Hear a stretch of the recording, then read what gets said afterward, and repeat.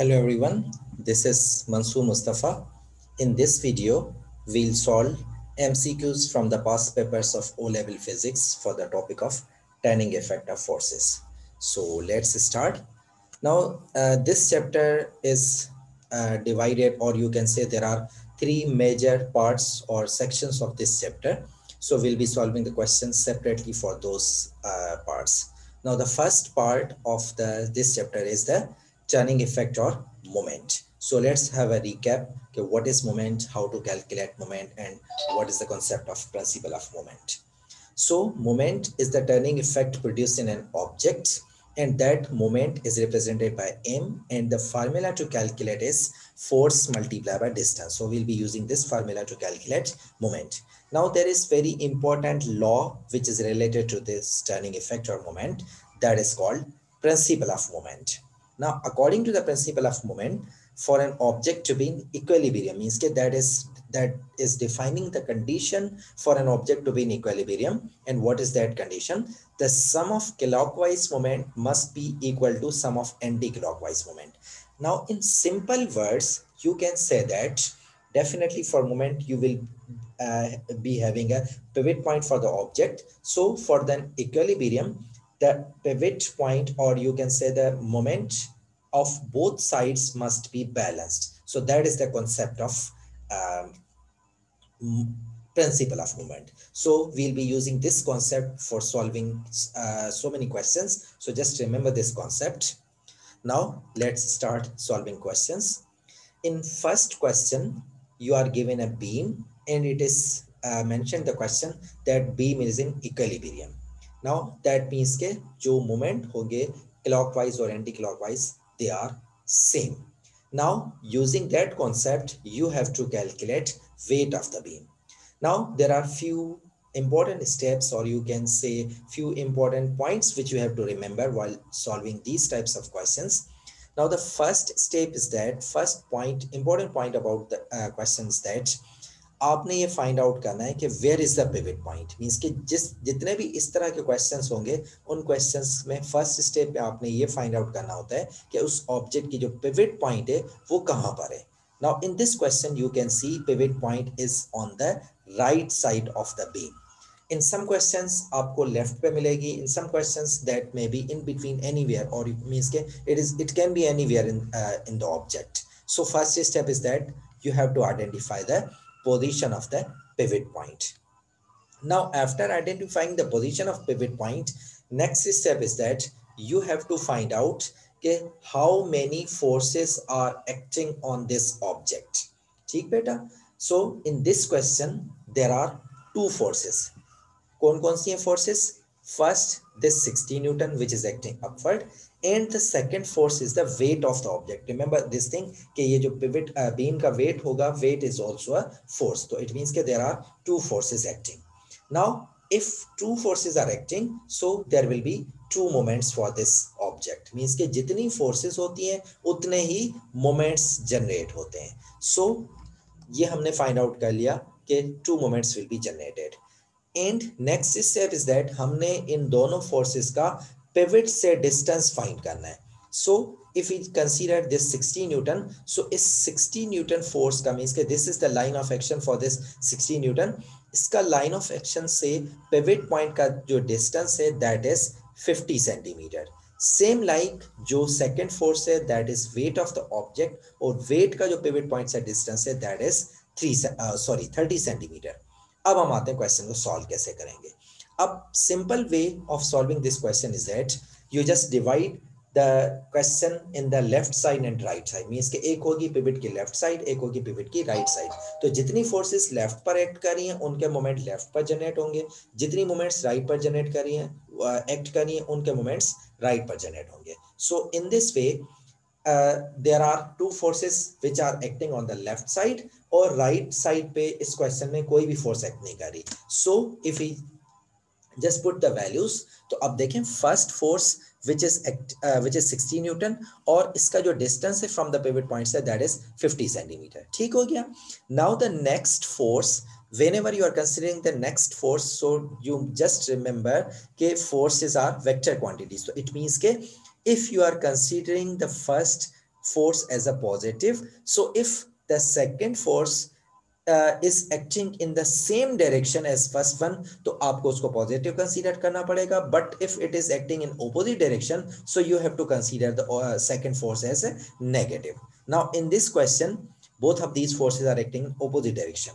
So now it's up to you कि आपकी मर्ज़ी, आप 60 न्यूटन को पॉजिटिव कंसीडर करें या फिर इस वेट को कंसीडर करें। It's up to you but if you are considering one as a positive तो फिर आपको सेकंड को नेगेटिव कंसीडर करना पड़ेगा। Reason is that both are acting in opposite direction so we have considered 60 as a positive and that second force which is w as a negative and w का जो distance है that is 30 or centimeter और 60 newton का जो distance है that is 50 centimeter and on the left sorry right side of the pivot there is no force acting so it means ke yahan pe jo moment honge wo bhi zero hoga now if we solve this question uh, means ke if we solve it for the w because we have to find out the weight so we'll get an answer 100 newton so this is how you have to solve the this these types of questions so if uh, you are still having a difficulty just pause the video and just see the solution then you will have an idea कि ये question हमने किस तरह solve किया है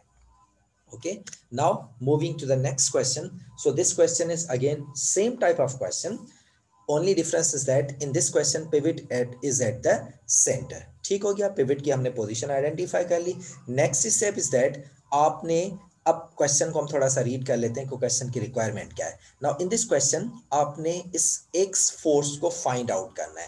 अब find आपने क्या करना है? इस एक्स फोर्स का magnitude and the direction of this force means के ये जो एक्स फोर्स होगी, ये डाउनवर्ड एक्ट करेगी या अपवर्ड एक्ट करेगी। अब आते हैं क्वेश्चन को हम सॉल्व किस तरह करेंगे? First step is that we'll be solving the same question in the uh, sorry we'll be solving this question in the same way as we solved the previous one कि हमने pivot की position identify कर ली then जितने moments जितनी forces left पर act कर कर रही होंगी उनके मोमेंट्स लेफ़्ट पर जनरेट होंगे और जो फोर्सेस राइट पर एक्ट करी उनके मोमेंट्स राइट पर जनरेट होंगे ठीक है ना बेटा so in this condition two forces are acting on the left and one force is acting on the right but as we don't know the direction of x, so first of all, we'll consider it as a positive, ठीक है? फिर हम देखेंगे कि अगर इस x की जो साइन है, वो अगर पॉजिटिव आ रही है तो इट मींस कि that will be in the same direction of 12 newton which is downward अगर ये x नेगेटिव आता है तो इट मींस कि that will be in opposite direction so let's start अब अगर हम इनकी वैल्यूज़ पुट करें तो आप देखें first force which is 12 newton और इस 12 न्यूटन का जो पिवट से डिस्टेंस है that is 2 centimetre same like like, हमने x को पॉजिटिव लिया है because we don't know the direction so x का जो पिवट से डिस्टेंस है that is four centimetre so this is very important point कि whenever you are calculating the distance तो रिमेंबर दिस थिंग आपने डिस्टेंस हमेशा पिवट से measure करना है. पिवट पॉइंट से distance so that is four centimetre sorry four metre on right hand side we have only one force which is 8 newton and और इसकी जो डिस्टेंस है that is two centi two metre अच्छा one more important thing about this question is that कि अगर आपने downward force को positive लिया है देन इट्स नेसेसरी कि आपने दोनों साइड्स पे डाउनवर्ड फोर्स को आपने नेगेटिव लेना है। आप ये नहीं कह सकते, आप ये नहीं कर सकते कि आप 12 न्यूटन को पॉजिटिव लें और ऑपोजिट साइड पे जो एट न्यूटन वाली फोर्स है, उसको आप नेगेटिव ले लें। आप ये नहीं कर सकते बिकॉज़ आपने एक बार डाउनवर्ड को पॉजिटिव लिया तो जितनी भी डाउनवर्ड फोर्सेस होंगी whether they are on left और राइट तो उन सब की जो साइन है, वो आपने सेम करनी पड़ेगी। So that is important point about this questions ठीक है ना बेटा?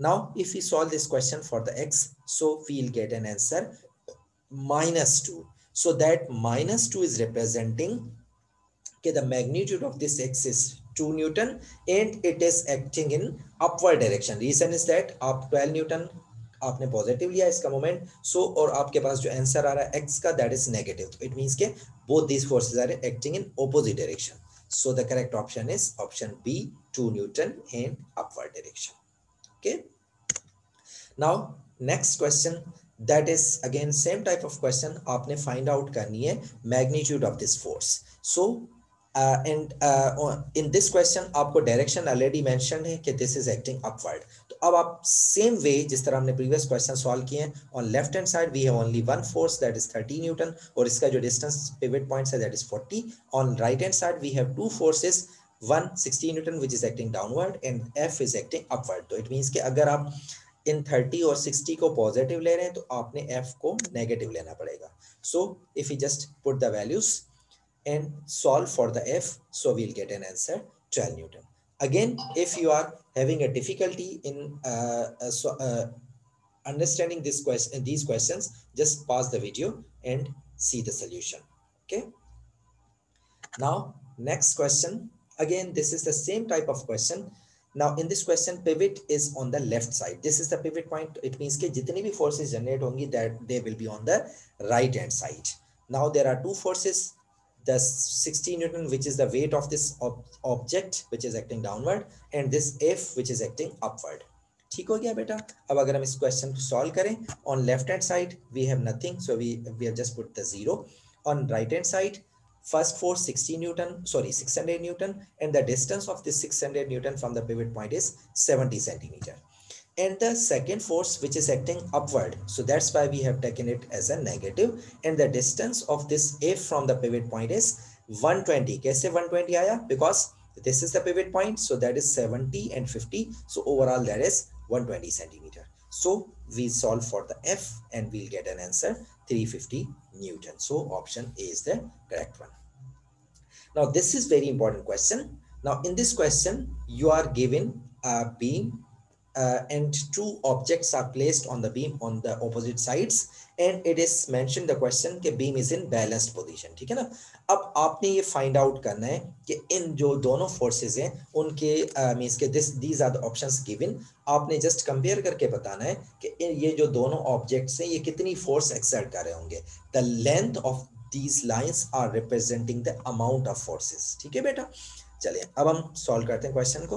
Now first thing is that if this rod is balanced that means के दोनों साइड्स का जो मोमेंट होगा दैट इज़ सेम और मोमेंट किस तरह फाइंड करते हैं moment is the product of force and the distance now if we just compare the distance of these two objects from the pivot point so it's clearly uh, we can observe that दोनों का जो distance है from the pivot point that is same so अगर दोनों का distance same है then uh, it means के इन दोनों के जो फोर्स होंगी या इन दोनों के जो वेट होंगे that is also same reason is that अगर ये वेट सेम नहीं होंगे तो दोनों साइड्स का मोमेंट सेम नहीं आएगा. So if you are getting the same moment on both side so that means के अगर इनका डिस्टेंस भी सेम है तो फोर्सेस भी सेम होंगी.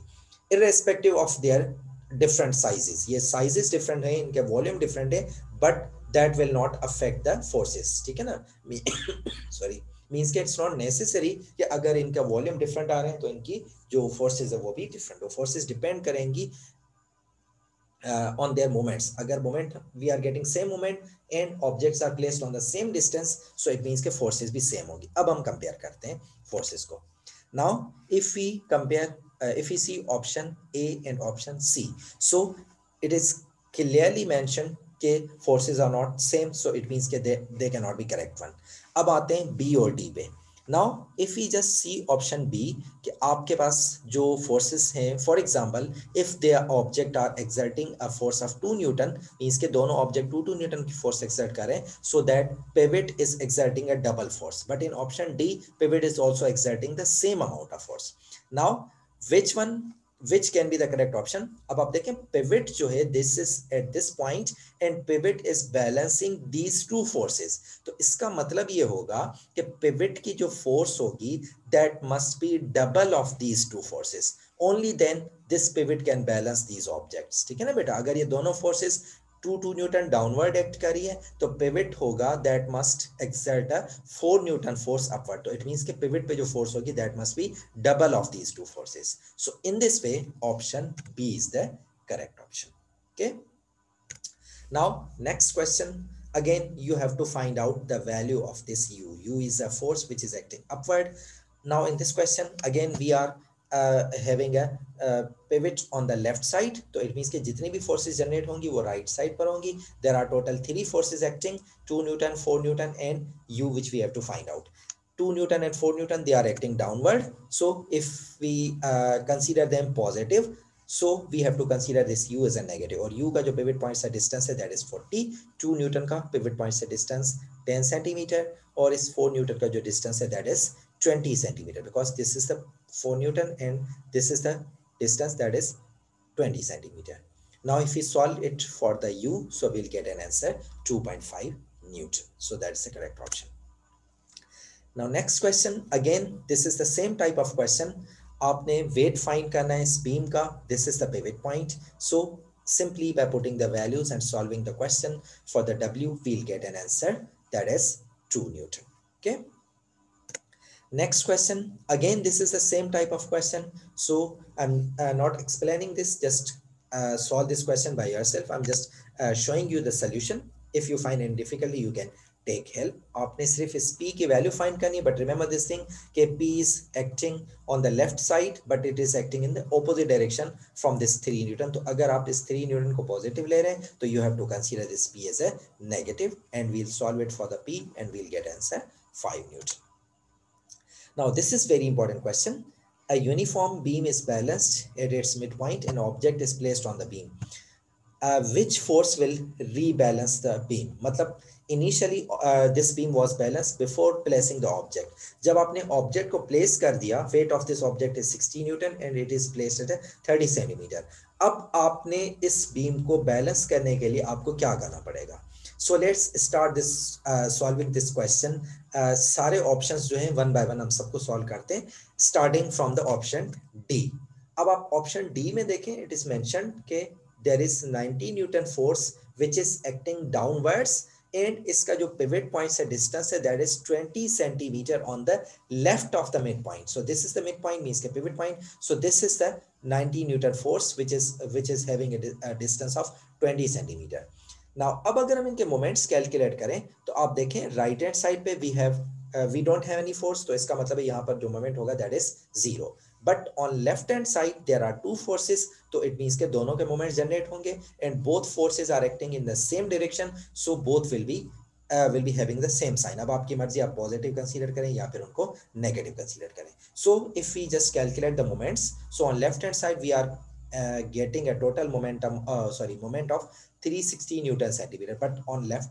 uh, on right hand side moment is zero so that is not satisfying the principle of moment means ke, uh, in this condition clockwise moment is not equal to anti-clockwise moment so that will not balance the rod अब अगर हम option C पे आ जाएं 45 and the distance is 45 centimeter on the right side so it means के in this condition दोनों side पे moment generate होगा। But if we measure the moment या if we calculate the moment we are getting a different value of moments on the both side so again that will not balance the rod ठीक है ना बेटा? Moments different होगा तो ये rod का balance नहीं करेंगे। अब आते हैं ऑप्शन बी पे।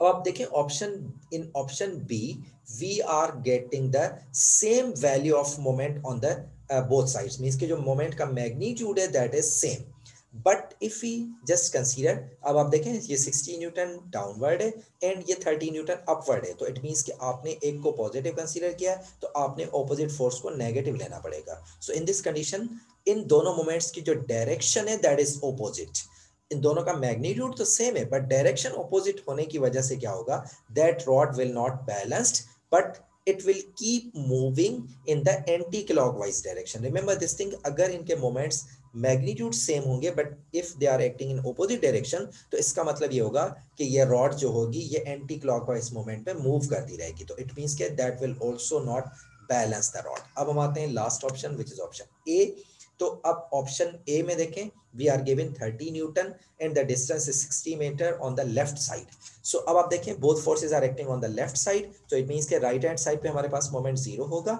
अब अगर हम लेफ़्ट साइड पर मोमेंट्स कैलकुलेट करें both forces are acting in opposite direction तो हमने एक को पॉजिटिव लेना है सेकंड को नेगेटिव और दोनों के अगर हम मोमेंट्स कैलकुलेट करें so we are getting 180 for the both values and finally we are getting the zero moment on left hand side as well तो इसका मतलब ये होगा कि only this is the possible condition in which we are getting same moment on the both side so that is the correct option for this question okay option A now in this question this is the same type of question but only difference is that previous question में आपने weight find करना होता था इस question में आपने mass find करना है.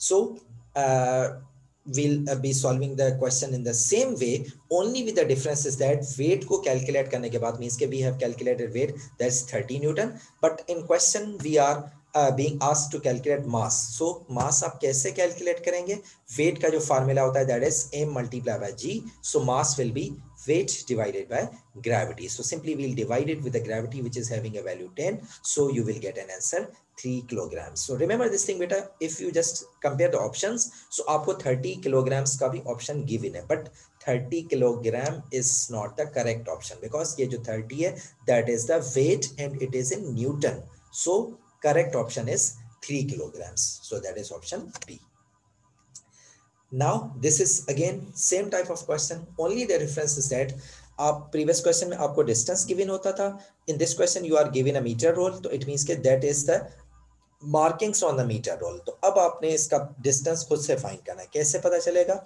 Four newton so that is clearly mention इसका जो पिविट से डिस्टेंस है that is ten centimetre there is another force which is acting downward और इसका जो पिविट पॉइंट से डिस्टेंस है that is because pivot is at ten centimetre mark तो now if you measure this distance so that is 40 centimeter means के जो weight है इसका जो distance pivot से 40 centimeter and both forces are acting in same direction so both will be positive so uh, if we solve it for the W, so we'll get an answer 1 Newton. So that is the weight of this uh, object. Now, next question is that four forces are, uh, sorry, forces are applied to a uniform beam pivoted at center. Which beam is balanced? आपने find out करना है कि इन चारों में से balance means के दोनों साइड्स का जो मोमेंट कहाँ पर सेम आएगा to keep the rod in balance अब हम इनको वन बाय वन सॉल्व करते हैं।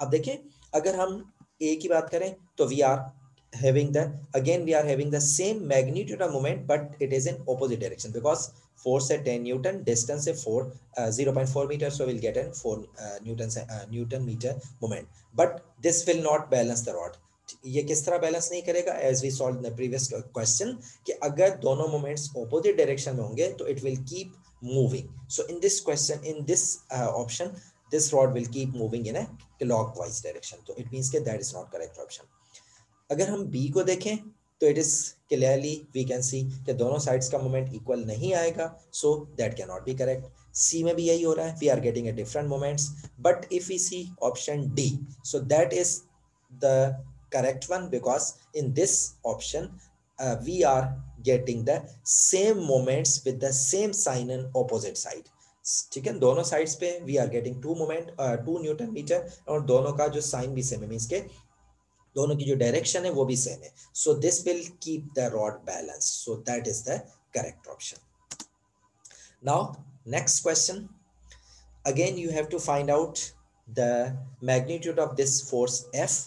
again you will solve it using the same concept which we are using in previous questions this is the pivot point जो f है अच्छा in this question again both forces are acting in the same direction so you will consider both forces as uh, positive or जो F है that is on the left side of the pivot and this 50 Newton, oh sorry, 500 Newton, which is the weight of this boy, which is on the right side. So if we solve it for the F, so we'll get 250 Newton. So that is the correct option. in next question, again, this is the same type of question, so you can solve by yourself. I'm just showing you the uh, solution and the correct option that is 75 Newton. Acha, remember this thing beta, whenever you find any difficulty, you, are, you want to solve the question, just pause the video and solve by yourself and then compare uh, your answers. Now the next question, this is not a calculating question, calculating question, it's just a theoretical question. If a nut and bolt are different to undo, it may be easier to turn the nut by using the longer spinner. This is because the longer spinner gives, अब आप देखें अगर आप longer distance को increase कर रहे हैं means के if you are increasing the spinner it means के you are increasing the distance so distance को इंक्रीज करने के से जो मोमेंट होगा वो इंक्रीज हो जाएगा so that will Uh, increase the turning effect or moment. So option a is the correct one. That will produce a larger turning moment. Now the second part of this chapter that is the center of gravity. So let's have a recap. Center of gravity kya hota hai aur kaise hum determine hain for the different objects? So center of gravity is the point at which whole weight of the object acts ठीक है ना? ये वो point होता है जहाँ पर gravity act करती है।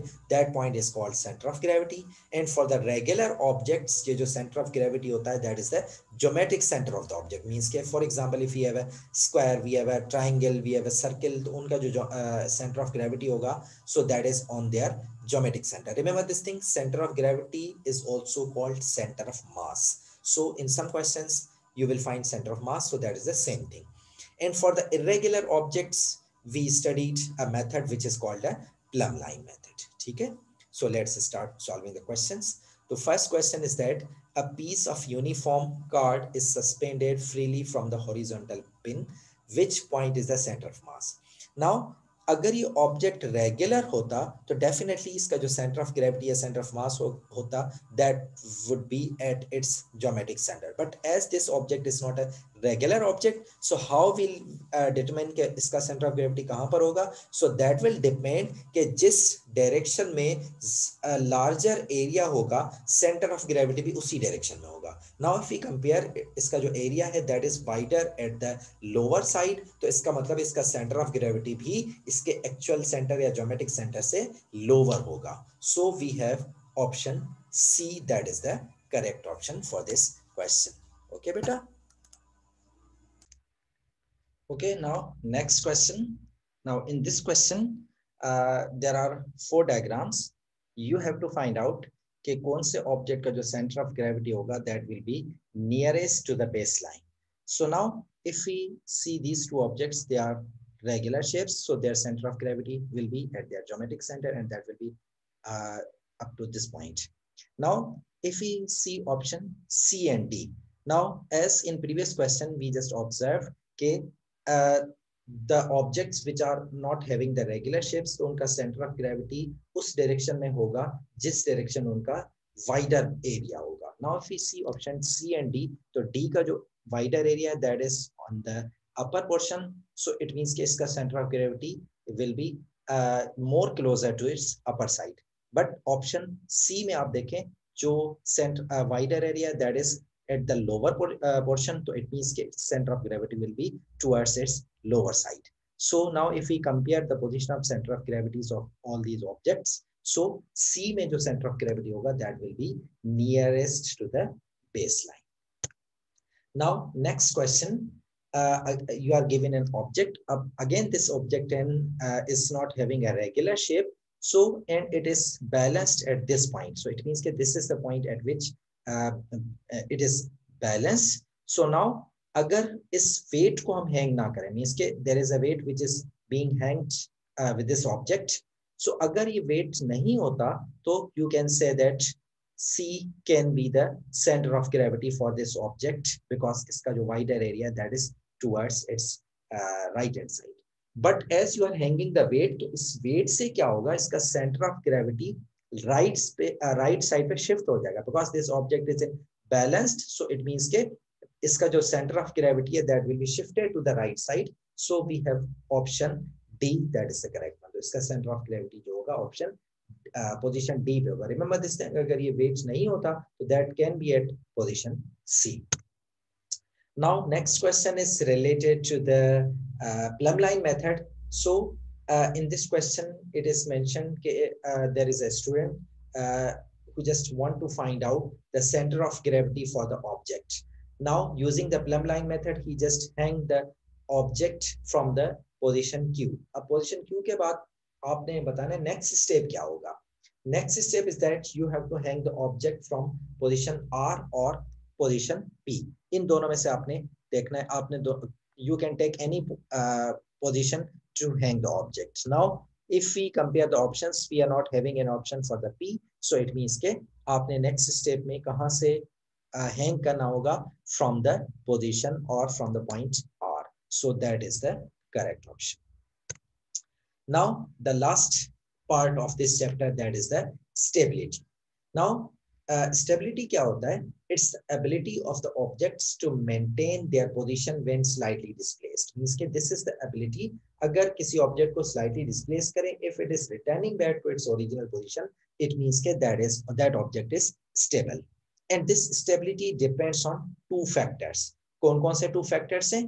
First one is the base area of the object जितना वाइडर बेस एरिया होगा ऑब्जेक्ट उतना ज़्यादा स्टेबल होगा. Second one position of its centre of gravity means के पोजिशन पे इस तरह डिपेंड करेगा ऑब्जेक्ट की जो सेंटर ऑफ़ ग्रेविटी है वो जितना लोअर होगी जितना टुवर्ड्स बेस लाइन होगी ऑब्जेक्ट उतना ज़्यादा स्टेबल होगा so these are the two factors which determine the stability of objects so let's start questions first question is that a car is design to be stable means के आपने अगर car की stability को maintain करना है कि तो what factors you have to consider now अभी हमने देखा कि सेंटर ऑफ ग्रेविटी की जो पोजीशन होती है वो जितनी लोअर होगी object will be that much stable so on that basis if we compare these options so if you want to maintain the stability of car you have to make its center of gravity or center of mass as low in the car as possible next question is that a man uses a clay to made a, uh, make a pot he wants the pot to be as stable as possible means ke he just want to increase their stability. So what are the factors? What are the uh, you can say the properties of the object which he has to consider while maintaining its stability? So stability depends on only two things which are the area of the base and the height of center of gravity. Density या weight per center of gravity depend karta so on that basis option a is the correct one.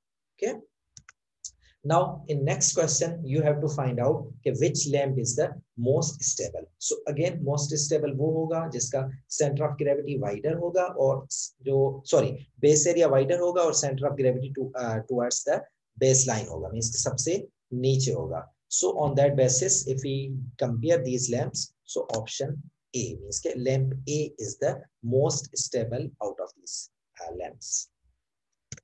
Next one आपने least stable बताना है so that is you can clearly identify that is the A means के by A because इसका जो base area है वो सबसे कम है और इसका जो सेंटर ऑफ़ ग्रेविटी है that is higher so that will be less stable next question which affects the stability अभी हमने कहा there are two factors which affect the stability its base area and the location of center of mass so option a is the correct one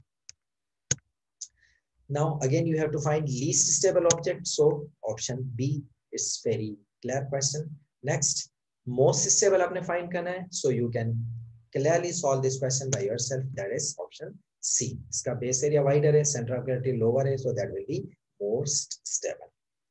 Again, you have to find out least stable object, so that will be B.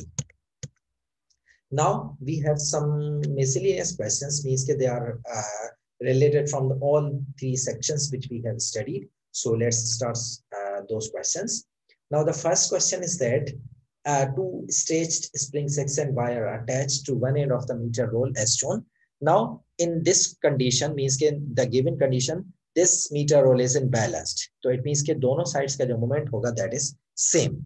Now you are making one change. वो change क्या है कि if you are moving this W towards the pivot अगर आप इस W को pivots की तरफ़ मूव करेंगे, then what will be the effect on these springs? This is what we have to find out. मतलब जो जो spring x और y इनकी लेंथ में क्या चेंज आएगी, वो आपने डिटरमाइन करना है। Now before finding the answers थोड़ा सा हम देख लेते हैं कि अगर ये जो रॉड है या जो मीटर रोल है, इसमें हम W को अगर टुवर्ड्स द पिवट मूव करें तो what will be the new position और you can say the condition of this rod अब आप देखें अगर आप W को टुवर्ड्स पिवट मूव करवा रहे हैं इट मींस के इस W का जो वेट का जो ऑब्जेक्ट uh, का जो डिस्टेंस है from the pivot point that is decreasing so अगर ये डिस्टेंस डिक्रीज हो रहा है तो डेफिनेटली इस साइड का जो लेफ़्ट हैंड साइड इसका मोमेंट भी डिक्रीज हो जाएगा।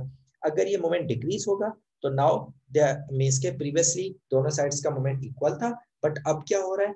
लेफ़्ट साइड में मोमेंट कम है राइट साइड पे लार्जर है। So object will move in the direction of the larger moment so ये रॉड की जो रोल uh, की जो कंडीशन है दैट विल बी मींस के it will move in this way now you can clearly see कि अगर ये रॉड इस तरह मूव कर रही है तो spring X which is on the upper side so that is increased and spring y which is on the lower side that is decrease so on that basis you can answer that is the correct option c x increases and y decreases.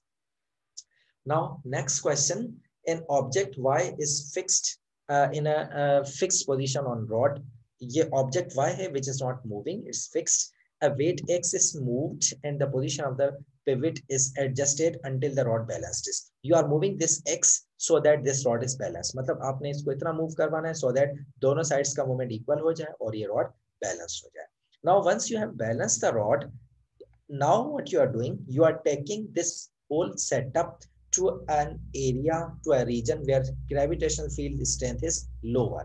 अब आपने बताना है कि अगर आप इस setup को complete setup को आप उस पोजीशन पे लेकर जाते हैं जहाँ ग्रेविटेशनल फ़ील्ड स्ट्रेंथ की वैल्यू लोअर है तो अब आपको दोबारा बैलेंस करने के लिए आपको क्या चेंज करनी पड़ेगी? वो आपने फाइंड आउट करना है। नाउ रिमेंबर दिस थिंग कि अगर ग्रेविटी चेंज होगी तो उससे कौन से फैक्टर्स हैं जो चेंज हो जाएँगे? Now distance definitely it will not change but अगर आप इनके वेट्स को कंपेयर करें तो जहाँ पर ग्रेविटी कम होगी तो वहाँ वेट्स भी कम हो जाएँगे। तो इसका मतलब ये होगा कि इनका ओवरऑल जो मोमेंट्स है, वो लेफ़्ट जो है, वो कम हो जाएगा as compare to the previous position but अगर जो मोमेंट्स कम हो रहे हैं, या यू कैन से दैट जो ग्रेविटी का इफ़ेक्ट है it is again same for these two objects इसका मतलब ये होगा कि अगर आप फॉर एग्ज़ाम्पल प्रीवियसली दोनों जो साइड्स है, उनके मोमेंट्स अगर फॉर एग्ज़ाम्पल 50 50 न्यूटन सेंटीमीटर आ रहे हैं या न्यूटन मीटर आ रहे हैं, अब अगर आप इस ऑब्जेक्ट को दूसरी पोजीशन पर लेकर जाते हैं, जहाँ पर ग्रेविटी कम है तो व्हाट विल हैपन दोनों के जो मोमेंट्स है, वो डिक्रीज हो जाएँगे मींस के वो वैल्यू 50 से कम हो जाएगी। But that will again be same for those objects both sides मतलब अगर फॉर एग्जांपल वो वैल्यू 50 से 40 हो जाती है अगेन दोनों साइड्स के मोमेंट 40 हो जाएँगे। तो इट मीन्स के ओवरऑल दोनों साइड्स का moment are still same so there won't be any change on its balanced position उसकी बैलेंस पोजीशन पे कोई भी इफ़ेक्ट नहीं होगा। तो इट मींस के आपको कोई भी चेंज नहीं करना to keep the rod in balance ना तो आपने पिवट को मूव करवाना है, ना ही आपने एक्स को मूव करवाना है। So that's why option D is the correct now the last question A girl uses a paper clips to balance a toy bird on her finger as shown. What is the effect of paper clips? अब आप देखिए ये paper clips क्या करेंगे definitely if they are hanging on the uh, left uh, sorry lower side so they will increase the weight on this side ठीक है ना बेटा अगर हम पेपर क्लिप्स को निकाल दें तो that bird is not balancing इसका मतलब ये होगा कि हमने इसके पिवट पॉइंट और यू कैन से दोनों साइड्स के मोमेंट को बैलेंस करना है in order to keep the bird in equilibrium position so अगर आप इस पेपर क्लिप को लगाने के बाद if she is hanging the paper clips तो उससे क्या होगा कि इसका जो सेंटर ऑफ़ ग्रेविटी है this is the same type of question which we solved in previously कि अगर आपके पास ऑब्जेक्ट में एक साइड पे जब आप वेट हैंग करते हैं तो उसका जो सेंटर ऑफ़ ग्रेविटी है, वो मूव कर जाता है ऑन द ऑपोजिट साइड ठीक है ना बेटा? मीन्स के उसका पिवट जो सेंटर ऑफ़ ग्रेविटी है, वो मूव कर जाएगा। तो यहाँ पर भी यही हो रहा है। जिस साइड पे आपने वेट को हैंग किया मीन्स के बर्ड्स पेपर क्लिप्स को आपने हैंग किया है तो centre of gravity will move on that side in order to keep the bird in balance so that is it will help the uh, it will help to lower the center of mass below her finger मतलब इसका center of mass नीचे आ जाएगा in that situation rod or this bird will be balanced so this is all about these questions if you have any query related to these questions you may ask on my whatsapp number or you can email me okay have a nice day Allah Hafiz.